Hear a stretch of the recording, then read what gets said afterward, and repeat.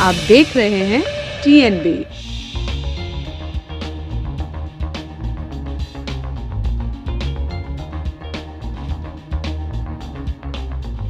Covid के नए variant Omicron के खतरे के बीच देश के प्रधानमंत्री नरेंद्र मोदी ने देश को संबोधित करते हुए एक अच्छी खबर दी है। पिछले काफ़ी दिनों से बच्चों की वैक्सीन और बूस्टर डोज आने का इंतज़ार किया जा रहा था। पीएम मोदी ने उस इंतज़ार को भी खत्म कर दिया। प्रधानमंत्री ने घोषणा की कि 15 से 18 साल के बच्चों के लिए वैक्सीनेशन 3 जनवरी 2022 से शुरू कर दिया जाएगा। इससे स्कूल जाने वाले बच्चों को संक्रमण से बचने में मदद मिलेगी। वहीं हेल्थ केयर और फ्रंट लाइन वर्कर्स को 10 जनवरी से वैक्सीन की बूस्टर डोज दी जाएगी। देश की बुज़ुर्ग आबादी, जो पहले से ही किसी बीमारी से पीड़ित है 60 साल की उम्र से ज़्यादा के हैं, उनके लिए डॉक्टरों की सलाह के बाद बूस्टर डोज 10 जनवरी 2022 से मिलनी शुरू हो जाएगी। प्रधानमंत्री की इस घोषणा पर जसलोक अस्पताल के डॉक्टर राजेश एम पारिक ने कहा कि वह सरकार के इस फैसले से बहुत खुश हैं। बच्चों को वैक्सीन की ज़रूरत और बूस्टर डोज पर काफ़ी पहले से बोला जा रहा था, जो एक बहुत अच्छा प्रयास है। मेदांता अस्पताल के सीएमडी डॉक्टर नरेश त्रिहान का कहना है कि पहले 12 से 18 की खबर मिली थी, लेकिन इसे 15 से 18 कर दिया गया है, जो इसका पहला फ़ेज़ है। आने वाले समय में इसे कम उम्र के बच्चों को भी दिया जाएगा। ये वैक्सीन भारत में बनी है उन्होंने ये भी कहा कि हेल्थ केयर और फ्रंट लाइन वर्कर्स और बुज़ुर्गों के लिए बूस्टर डोज है, जो देश के लिए बहुत अच्छा कदम है।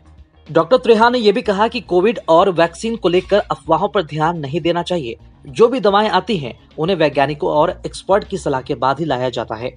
इससे लोगों का फ़ायदा ही होगा। बच्चों को अगर वैक्सीन दी जाएगी तो वे स्कूल जा सकेंगे, जिससे उनका विकास होगा, क्योंकि वे एक लंबे समय से अपने घरों में कैद हैं।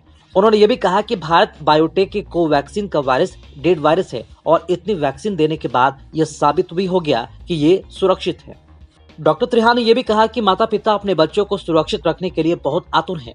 बच्चों पर कोरोना का असर कम होता है, लेकिन अगर उन्हें वैक्सीनेट नहीं किया गया तो वे अपने घर में रहने वाले बुज़ुर्गों को भी संक्रमित कर सकते हैं, जो काफ़ी गंभीर है उन्होंने ये भी कहा कि 15 से 18 साल के बच्चों में वैक्सीन दी जाएगी, लेकिन पहले वे बच्चे वैक्सीन लगवाएँ, जिन्हें पहले से ही कोई न कोई बीमारी है।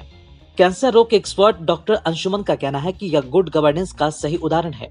15 से 18 साल के बच्चों की जनसंख्या ज़्यादा है, जिन्हें फ़र्स्ट फ़ेज़ में शामिल किया गया है। बाकी कम उम्र के बच्चों को दूसरे फ़ेज़ में टीका दिया जाएगा। इस घोषणा के बाद गृह मंत्री अमित शाह ने ट्विटर पर कहा कि सावधानी, सजगता और वैक्सीन ही हमें कोरोना के खतरे से दूर रख, उस पर विजय दिलवा सकती है। सभी फ्रंट लाइन कोरोना योद्धाओं ने बहुत बहादुरी से देश की अद्भुत सेवा की है। उनके स्वास्थ्य की चिंता करते हुए उन्हें प्रिकॉशन डोज देने के निर्णय के लिए मोदी जी का अभिनंदन करता हूँ।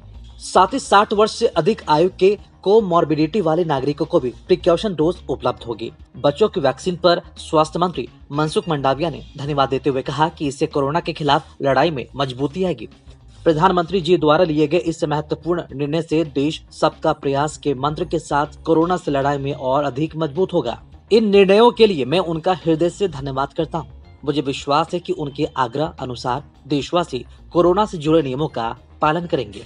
वही पीएम मोदी के इस फैसले के बाद महाराष्ट्र के मुख्यमंत्री उद्धव ठाकरे ने सरकार के इस फैसले का भी स्वागत किया। वहीं आदित्य ठाकरे ने ट्वीट करके उनकी मांगों को सरकार ने पूरा किया। इस बात की उन्हें खुशी है। दिल्ली के मुख्यमंत्री अरविंद केजरीवाल ने भी अपनी खुशी ज़ाहिर करते हुए कहा कि प्रधानमंत्री का ये फैसला बेहद सुखद है। इसके साथ ही यह भी जानकारी दी गई कि दिल्ली में निन्यानवे फ़ीसदी लोगों ने कोरोना वैक्सीन का पहला डोज और सत्तर फ़ीसदी ने दूसरा डोज ले लिया है। मुझे खुशी है आज प्रधानमंत्री जी ने फ्रंट लाइन वर्कर के लिए बूस्टर डोज का ऐलान किया। बूस्टर डोज सबको लगनी चाहिए। इसके अलावा 15 से 18 साल के बच्चों को अब वैक्सीन लग पाएगी। ये बेहद सुखद बात है। वही क्रिसमस पर प्रधानमंत्री की यह घोषणा बच्चों के लिए किसी क्रिसमस गिफ्ट से कम नहीं है। देश भर में इस फैसले की सराहना की जा रही है। खबरों में फ़िलहाल इतना ही। देश और दुनिया की ताज़ा अपडेट्स के लिए लॉग इन करें www.thenationalbulletin.in पर।